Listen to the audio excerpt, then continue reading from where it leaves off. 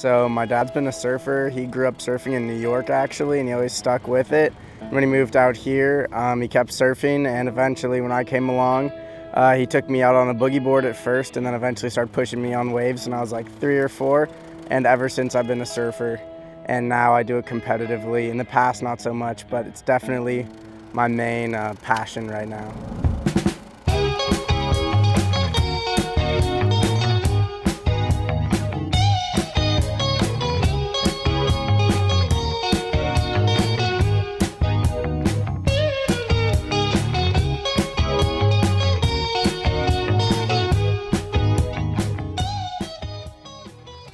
I compete in multiple scholastic divisions and recently I've been having some success. Like last weekend I ended up winning a men's division which was really fun down in Santa Cruz.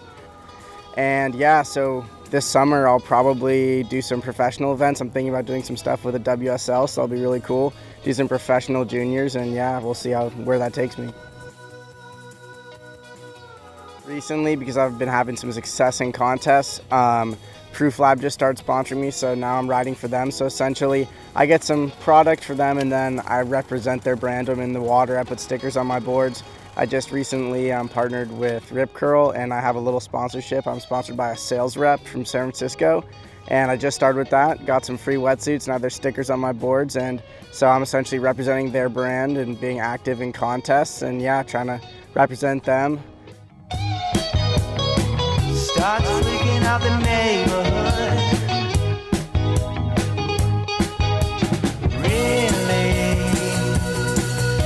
Fine. I mean, definitely want to keep surfing for as long as I can. Hopefully that's a long while and hopefully teach the people how to surf and spread the stoke and get more people into it because it's a great sport especially around here where it's pretty cold and a lot of people don't think of the beach as the best place to do your sports practice, but you know what? It's a great way to have fun and everyone should come try. Gonna shout out the Lamau boys, which are essentially my really core group of surfers I surf with up here. A bunch of kids from Tam, River, Jacob, Gary, Ren, Connor, Jason, Ethan, um, all those guys.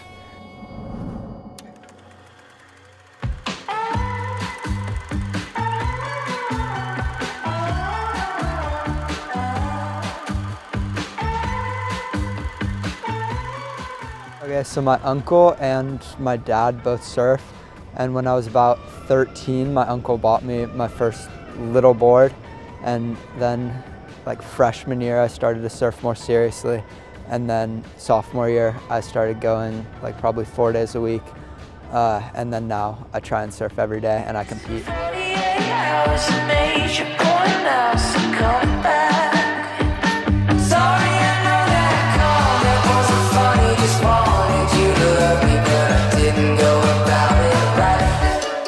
Yeah, I think we push each other a lot.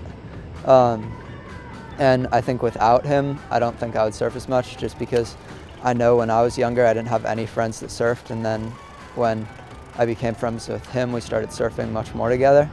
Um, and like I said, he just pushes me to do better. And I think I push him to do better.